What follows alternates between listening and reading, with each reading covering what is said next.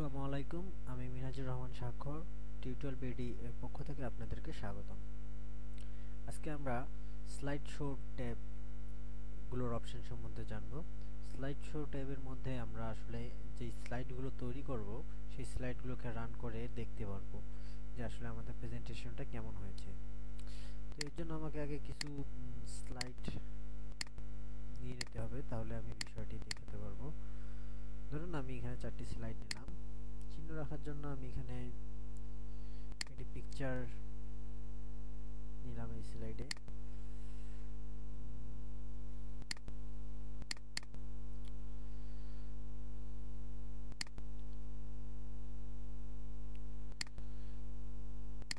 হ্যাঁ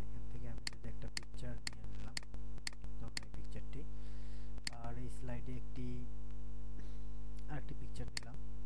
এটা জাস্ট আসলে দেখানোর জন্য। তিনটাতে তিনটা নিলাম আর এখানে একটা নিলাম। এখানে ধরুন একটা টাইটেল দিলাম আর একটা কন্টেন্ট দিলাম।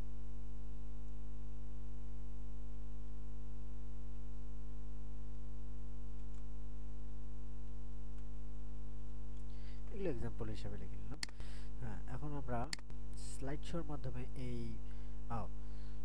প্রথম জিনিস আমরা আমাদের প্রেজেন্টেশন তৈরি করার জন্য আমরা পূর্বের টিউটোরিয়ালগুলোতে এগুলোর ব্যবহার, এই ট্যাবগুলোর মধ্যে যে অপশনগুলো রয়েছে এগুলোর ব্যবহার দেখেছি। তো আমরা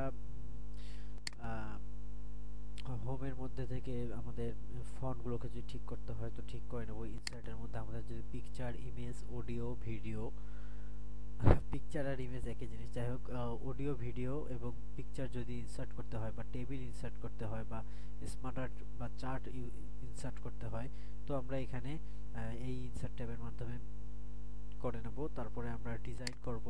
স্লাইডগুলোকে বিভিন্ন ডিজাইনে ডিজাইন করব। আমরা পূর্বের টিউটোরিয়ালে দেখেছি। তারপর যদি আমরা স্লাইডগুলোর উপরে ট্রানজিশন দিতে চাই, তাহলে দিব।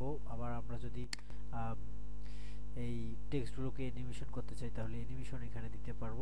তারপরে আমরা স্লাইড শোকে রান করে দেখব যে আসলে স্লাইড শোটা কেমন হলো। তো আমরা যদি এখানে প্রথমে দেখতেছি ফ্রম বিগিনিং ফ্রম বিগিনিং দিলে প্রথম স্লাইড থেকে শুরু হয়ে যাবে। যেমন দেখুন, আমি ফ্রম বিগিনিং যখন ক্লিক করব, তখন আমার এই স্লাইড শোটি প্রথম থেকে শুরু হলো। তো ডিফল্টভাবে এখানে কোনো টাইমিং যেহেতু দেওয়া নাই, তাই আমাকে ক্লিক করতে হবে মাউসে তারপরে স্লাইড চেঞ্জ হবে। দেখো আমি এক্সিট বাটন চেপের মাধ্যমে বেরিয়ে আসলাম। আর আমি যদি এখানে টাইমিং দিয়ে রেখে দিয়ে রাখতাম, তাহলে ওই টাইমিং অনুযায়ী স্লাইডগুলো চেঞ্জ হতো তখন। আপনারা জানেন যে কীভাবে টাইমিং দিতে হয়, না দিতে হয়। আর যদি ফ্রম কারেন্ট স্লাইড স্লাইড দিতাম, তাহলে মনে করুন যে আমি এটা সিলেক্ট করা আছে, তো এখান, এই স্লাইড থেকে শুরু হতো। ব্রডকাস্ট স্লাইড শো এটা তো নেটের মাধ্যমে ব্রডকাস্ট করানো। আর কাস্টম স্লাইড শোর মাধ্যমে আপনি এখানে স্লাইড নিয়ে নিউ একটি স্লাইড কতগুলো স্লাইড নিয়ে একটি আর কি স্লাইড শো তৈরি করার জন্য এই অপশনটি দিয়েছে। তারপর আপনি set up set up slide show এখানে আপনি ফুল স্ক্রিন নাকি শুধু উইন্ডোটা দেখাবে, নাকি আবার আপনি browsed at a kiosk full screen এটার অর্থ এখানে আপনি ব্রাউজড বাই অ্যান ইন্ডিভিজুয়াল অর্থাৎ বোঝাচ্ছে যে আপনি শুধু উইন্ডোটা আসবে একজন ইন্ডিভিজুয়াল আর কি আর কি অ্যানিমেটেড অটোমেটিক একটা প্রেজেন্টেশন একটা রোবোটিক ভাবে দেবে আর কি। আর প্রেজেন্টেড বাই স্পিকার অর্থাৎ আপনার বোঝাচ্ছে যে কোনো মানুষ বলবে এবং প্রেজেন্টেড করবে, অর্থাৎ ফুল স্ক্রিনে দেখাবে, তাই আর আপনি যদি এখানে সব স্লাইড নিতে না চান, তাহলে কোন স্লাইড থেকে কোন স্লাইড শো করবেন, এটা ফ্রমে ক্লিক করে দিতে পারেন, অথবা আপনি অলে ক্লিক করে রাখতে পারেন। আবার এই যে এখন যদি অ্যাডভান্স স্লাইডস অপশানে দেখুন, এখানে ম্যানুয়ালি করে দিলে আপনার স্লাইড শোর ম্যানুয়ালি ক্লিক করে করে চেঞ্জ করতে হবে। আর যদি ইউজিং টাইম ইফ প্রেজেন্ট অর্থাৎ আপনি যদি টাইমিং দিয়ে রাখেন, তো টাইমিং হিসাবে প্রেজেন্ট করবে এইখানে ক্লিক করলে।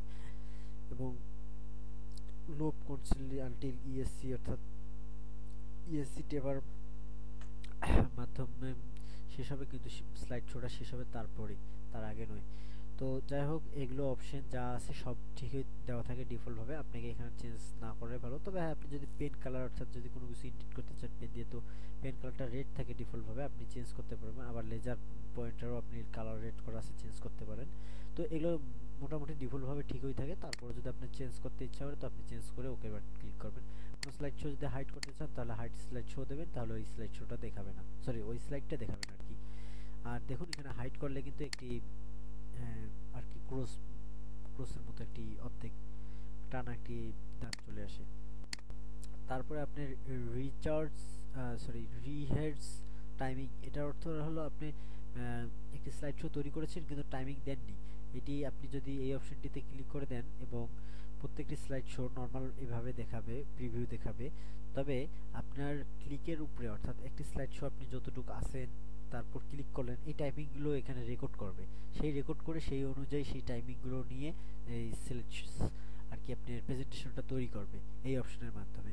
অর্থাৎ আপনার মনে করেন আমার যেমন এখন এই স্লাইড শো এই স্লাইডগুলো আমি তৈরি করেছি, এখানে কোনো টাইমিং দেইনি তো আমি ইচ্ছা করলে এখানে অপশনে ক্লিক করে আমি ম্যানুয়ালি আমার যখন ইচ্ছা আমি এটাকে চেঞ্জ মাউসের বাটন ক্লিক করে বা রাইট ক্লিক করে চেঞ্জ করব। তো এই যে আমার চেঞ্জ করার টাইমিংটা এই টাইমিংটা এরা এটা রেকর্ড করে রাখবে এবং পরবর্তীতে এটা সেভ করে নেওয়া যাবে এবং সেভ করে সেই টাইম অনুযায়ী প্রেজেন্টেশনটা তৈরি হবে।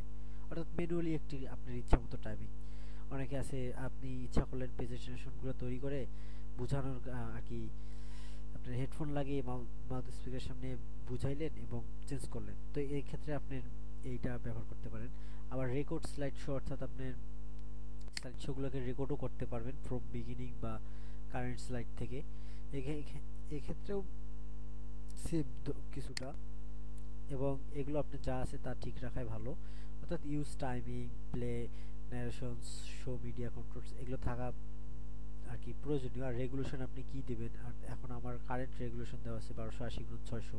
আপনার প্রেজেন্টেশনের যদি ভিডিও আকারে করেন, তাহলে আপনার অবশ্যই রেগুলেশন একটা প্রভাবশালী অপশন এবং দেখুন, এখানে ইউজ প্রেজেন্টার ভিউ এটা অর্থ হলো আপনি এখন আমার যেমন এই যে নোট তারপরে এই যে এডিট করা এত অপশন এত কিছু সহ আমি এই প্রেজেন্টেশনটাকে আর কি চালাতে পারব, এখান থেকে চালাতে পারব। তো আমি এখানে এডিটও করতে পারব। তা আপনি এই অপশনটার মাধ্যমে অবশ্যই আপনাকে দুটো মনিটর থাকতে হবে। আর একটি মনিটর যদি থাকে, ওই মনিটরে আপনার প্রেজেন্টেশনটা চলবে এবং ব্যাকগ্রাউন্ডে আপনি এই মনিটরে আপনি এটা কন্ট্রোল করতে পারবেন, এই অপশনের দ্বারা। অবশ্যই এটার জন্য আপনার দুটো মনিটর থাকতে হবে।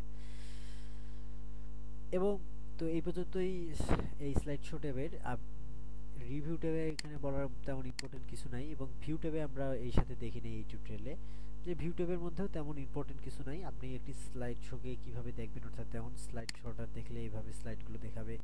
নোট করলে এখানে নোট যদি লেখা থাকতো, তাহলে নোটটা দেখা যেত নোট বাই নোট আবার রিডিং ভিউ দেখলে এভাবে দেখা লাগতো।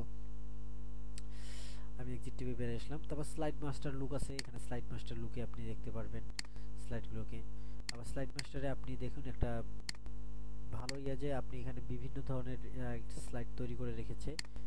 একই ইয়েতে বিভিন্ন স্টাইলের আপনি এখান থেকেও স্লাইড তৈরি করতে পারবেন এবং প্রেজেন্টেশন আর কি তৈরি করতে পারবেন এবং ক্লোজ মাস্টার ভিউতে ক্লিক করে বেরিয়ে আসতে পারবেন। আর এখানে যে অপশনগুলো আছে, এগুলো আমরা জানি যে অপশনটা কি করতে হয় আর না করতে হয়। তো যাই হোক ক্লোজ করলাম আমি। তারপর এখানে আপনি ভিউর মধ্যে আরও দুইটা ভিউ পাবেন, যেমন হ্যান্ড আউট মাস্টার এবং নোটস মাস্টার এগুলোও ঠিক স্লাইড মাস্টারের মতো কিছুটা। এবং এগুলো হলো দাঁড়ান, আগে আমি নর্মাল ভিউ করি। ওকে এগুলো হলো আপনার রুলার গাইডলাইন্স গাইড যদি আপনি ক্লিক করেন তাহলে এগুলো দেখতে পারবেন। তো পাওয়ার পয়েন্টে এগুলোর প্রয়োজন তেমন একটা পড়ে না। আমরা জানি যে এক্সেল ওয়ার্ডে এগুলোর প্রয়োজন আছে। জুমের মাধ্যমে আপনি জুম করতে পারবেন। ফিট টু উইন্ডো করলে এটি ফিট উইন্ডোর সাথে ফিট হবে। এবং কালার এগুলোও আপনি দেখার আর কি দেখানোর মধ্যে ইয়া আছে। আপনি কেমন কালার ব্ল্যাক অ্যান্ড হোয়াইট দেখবেন সব কিছু নাকি হোয়াইট দেখবেন শুধু তো এগুলো তেমন ইফেক্টেড নাই, এগুলো শুধু ভিউ আসলে আপনি কেমন দেখতে চাচ্ছেন বর্তমানে আর কি এডিটরে এডিটর প্যানেলে কেমন দেখতে চান, না দেখতে চান, কেমনভাবে দেখতে চান, সে সম্বন্ধে ভিউয়ের মধ্যে অপশনগুলো দেওয়া থাকে। তো যাই হোক এখানে দেখুন, এখানে আবার ক্যাসকেট করলে অর্থাৎ যদি অনেকগুলো আমার এখানে পাওয়ার পয়েন্ট ওপেন থাকতো, তাহলে সবগুলো একসাথে এইভাবে ইয়া হয়ে যেত, আর কি, এভাবে ভাগ হয়ে যেত। এখানে যেমন আইকনটা আপনি দেখতেছেন। এবং এর জল করলে আবার এই এগুলো ভাগ ভাগ অনুযায়ী আসতো। আমরা এক্সেলে এই অপশনগুলো দেখেছি মুভ স্পিল স্পিল্ড এগুলো আমরা এক্সেলের মধ্যে অবশ্য দেখেছি। তো যাই হোক স্লাইড শো যেটা মূল মূল বিষয় ছিল টিউটোরিয়ালের স্লাইড শোর সম্বন্ধে আশা করি আপনারা বুঝতে পেরেছেন স্লাইড শো ট্যাবের মাধ্যমে। তো এভাবে আপনারা একটি পূর্ণাঙ্গ প্রেজেন্টেশন আশা করি তৈরি করতে পারবেন। আপনারা যদি আমার কাছ থেকে শিখে প্রেজেন্টেশন তৈরি করতে পারেন, আমি অনেক খুশি হব। তো সবাইকে ধন্যবাদ। ভালো থাকবেন